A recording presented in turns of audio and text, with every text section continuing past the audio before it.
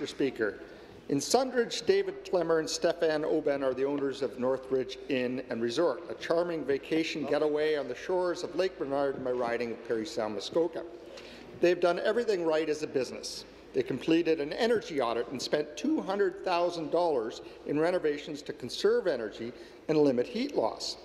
Despite that, their winter hydro bills this year were $14,000 a month.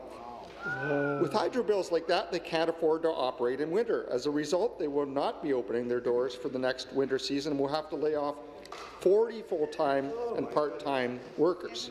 Mm. Speaker, in a town of 961 people, 40 jobs is a big loss. Just down Highway 11 in the village of Burk's Falls, Council is considering shutting the arena during the winter months to cut costs.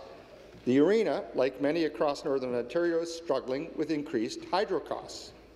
Speaker, this is another small town of less than 1,000 people, and the arena is central to community activities.